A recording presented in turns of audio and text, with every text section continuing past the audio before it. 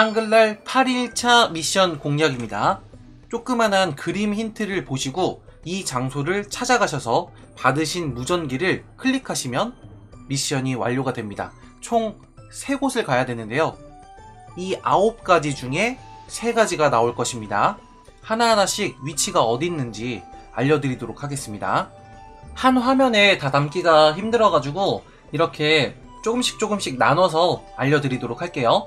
듀이 그림이랑 또 슬리피우드, 페네시스, 또 지구방위 본부에 이렇게 각각이 있습니다.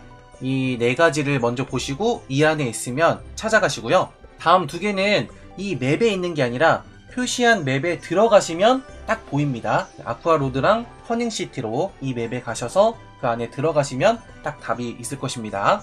마지막 세 개는 오르비스, 오르비스 공원이랑 커닝시티, 커닝시티 헤어샵, 그리고 엘리니아 자파상점에 이렇게 있습니다. 이 아홉 개 중에 세 가지가 나오실 것이거든요. 하나하나 찾아가셔서 이렇게 완료 보상 받아가시면 되겠습니다. 이번 완료 보상은 이렇게 생겼고요. 9일차에 또 뵙겠습니다. 감사합니다.